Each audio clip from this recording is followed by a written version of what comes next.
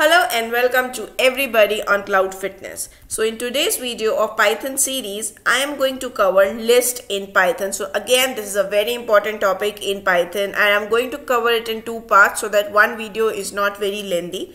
When we talk about list in my previous videos, I have already talked about data types, right? So I've already given an example that we can have a basket. That basket is nothing but it's a variable and in that basket in that variable we store object. Object is nothing but the data. And the uh, you know the flavor of that object or the flavor of that item is the data type right? So list is nothing but it is a data type. It is it, it is a format to store the data right? And you can store multiple types of data in the list. So for example i told about string. Like we talked about few data types right? We talked about string and we talked about integer we talked about float right? So when we talk about string anything that is in double quotes becomes a string right?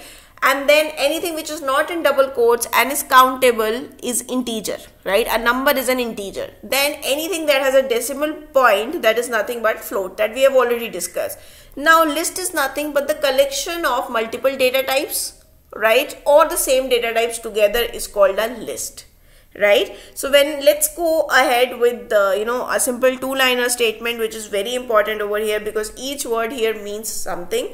After that we will move on to the PyCharm and we will see how do we create lists what are the different functions that we can use with the list right? So when we talk about list list is nothing but it is a versatile data type it is a versatile data type in python that stores collection of multiple objects. So this list can actually store multiple types of object. It can store your integer it can store your string it can store your decimal as well right? And in fact it can store a list list also within. So list can store multiple types of object. It can store a string it can store a decimal anything right? And it can store same type of object or different types of object as well. So that is nothing but a list. Now lists are mutable in nature. They can be changed. Now in a basket I can have an apple, I can have a, you know, orange, I can have a brinjal, I can have a tomato, I can have a potato. Now, I can, if I say I want to add spinach to my basket, I can do that if I want to remove apple from my basket, I can do that. So that is nothing but it means that lists are mutable in nature. They can be changed. So now let's move on to PyCharm and see exactly about the list. So now if you have been watching my previous video, you already know about this Python project and all these Python files. And remember to like, share and subscribe my channel as well. So here I'm going to click on new and I'm going to create a new Python file named as list because we are going to talk about list and hit enter. I'm just going to uh, click on shift alt and dot to increase the size of my font so that you all are very comfortable. So when I talk about list, right, how do I create a list? So first of all, I need to create to, to create a list I need to create a variable. So let's say I say my underscore list is thus the my variable name. It's the variable name that will hold my list. And list is what? Collection of data types. Different data types or different types of data. So let's say I want to put in apple right? Then let's say I want to put grapes. Then let's say I want to put onion right? And then let's say I want to put uh, potato right? Uh, let me just check the spellings. Let me just put it in quotes. And then I have missed quotes here. So all of these are strings right? Now moment I add a square bracket opening and closing. Now everything if I add it inside a bracket square bracket open and close that becomes a list right? So this is how you write a list. So anything inside a square bracket becomes a list. Now this is a list of same data type of same type of objects all are strings right so if I want to print my list right how do I do that I will simply say print and then inside print I will say my list the name of my variable. This is the name of my variable and now I will just select my current file to run it and I'll simply run it. So the moment I run it you can see on the console it says grapes apple onion potato right? In the same order. So order is also maintained. So if I have written apple first it will always give me apple first. If I say grapes second then it will always give me grapes second. If I say onion third it is going to give me onion third. So this is called your list. Now can I create a list without anything right? Can I have a basket without anything?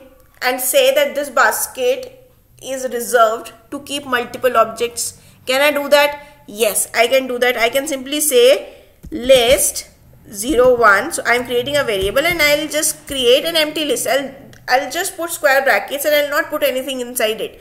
Here what does it mean? It simply means that I'm saying that I have a basket and it is reserved to keep multiple objects together multiple objects together means I'm writing a list right? So if you see this list 0 1 and I'm now trying to print list 0 1 so you can actually see it printed an empty list. So this is how you can print an empty list as well. Now let's say I want to create a list right with multiple data types. So let me just copy this my list right? Now let's say my list apple grapes onion potato. Now here let's say I put 1 then I put 5 then I put let's say 9.6 right? So what is this 1 and 5 are nothing but these are integers right? 9.6 is a decimal. Can I do that? Now let me say print. And then let me say my list. Now if I do that and I run it you will actually see that the apple grapes onion potato 1 5 and 9.6 all gets printed. So this is how you can actually store you know different types of uh, values inside your list. Now let's say I, I have this basket. I have multiple things inside my basket and I want to count it. Now how do I count it? I can say I can simply use length function to count the number of elements inside my list. So apple grapes onion potato 1 5 9.8 or 9.6 it is called element. Each of this is called elements of the list. So if i want to print if i want to print the length of the list how many elements are there? I can use length function which is nothing but len i can simply say my list. Like print me the length of the list right? Now if i run it you can see it says 7 so how many elements are present? Apple grapes onion right? 3 4, 5, 6, 7. So total 7 elements are present and you can see that it printed you the length of your list. So it, it will give you the count of how many elements are actually present inside your list. Now the other thing is, you know, can I have a list inside a list, right? Can I have a list inside a list? Yes, you can have a list inside a list. So that is called multi-dimensional list. So let me create a variable named as multi-dimensional list and inside that let me put in let's say I create a list and inside this list I create another list. Now in that list let me put Bhawna and the second element let me put as Bedi and then another then outside of that list let me put in loves and then again an element I'll put as a list and inside that let let's say Python right now what let me do uh, let me do uh, another thing over here is let me print my list right? Let me say print and then say multi-dimensional list. Now the moment i run it you can actually see that my list get printed. Now what is there in my list? This is my list. So the the outer brackets which you see over here right? And now this is the first element. Now this first element is actually a list right? The element can be anything. It can be a list it can be a string it can be an integer anything. So i have shown you that how a list can be an element inside a list. Now loves is again a element. Now it is a string right? Now this python is again an element which is which is a list. So that is called nothing but a multi-dimensional list in python right? So this is how you actually uh, you know uh, create a list inside a list in python. Or also remember that so for example i'll just give you one example. So let's take this particular list which i have my list right? So this is the list i'm just copying it right? And i am pasting it here right? So now if you see apple right? Now when you talk about counting in the list right? When you say when you count from left to right when i start with apple to the end each element so apple is an element right? Grape is an element. So each element has an index value. So index value is nothing but from left to right it starts with 0 1 2 3 4 5 6 7 so we have seven elements so it goes till the end right? If you count it from left to right. But if you count it from right to left it starts from minus 1 right? Minus 2 and then it will go to minus 3 right and then it will go to minus 4 right and let me just simply write it it will go to minus 5 then it will go to minus 6 right? So basically this is how it will happen. So uh, when i say that 0 so apple is 0 grapes is 1 onion is 2 potato is 3 1 is 4 so these are the index right? These are the places. Apple is at 0th place. Grape is at first place. If you count it from left to right but if you count it from right to left right then 9.6 is at minus 1 5 is at minus 2 1 is at minus 3 potato is at minus 4 onion is at minus 5 grapes is at minus 6 and apple is at minus 7 so this is how you count the elements and the index value of elements in a list.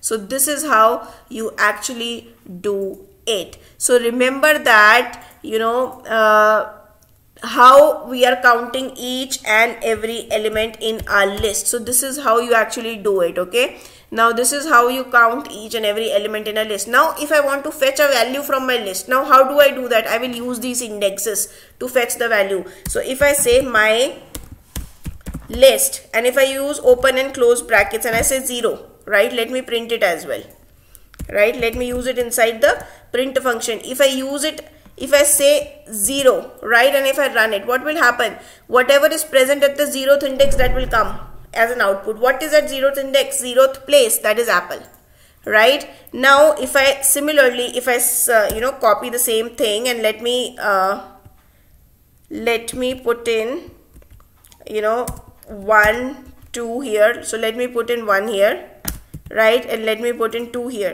Now again if I run it right what will happen? Apple grapes and onion should come into picture right? Apple grapes and onion. So if you see apple is at zeroth position. One first position is grapes. Onion is at second position. But now what I do is let me say print my list minus 1. So get me the element which is present at the minus 1th position. Now what is at what is at minus 1th position? That is the last element. Now if I run it, what is the last element? 9.6. So that came up. So this is called indexing right? This is called indexing and you know we will we are going to cover this concept later on in slicing as well. So we have something called as slicing which uses this concept. So always remember that when you count from left to right it starts with 0 1 2 3 incremental numbers. Now when you start from right to left it is minus 1 minus 2 minus 3 and like so on. And whenever you have to fetch a value from a list this is how you do it. You will say list and then add the particular and just uh, you know you just put in your index value. So 0 apple. Minus 5 now what will be the minus 5 so now let me just copy and I say fetch me the minus 5th position. Now if you look here at the data side right it is 9.6 is minus 1 5 is minus 2 1 is minus 3 potato is minus 4 and onion is minus 5 right? So in the minus 5 it should give you onion. So you can see that it gave onion as the output right? Similarly it goes for the multi-dimensional list as well. Now if you want want to fetch a value from a multi-dimensional list right? How do you do that?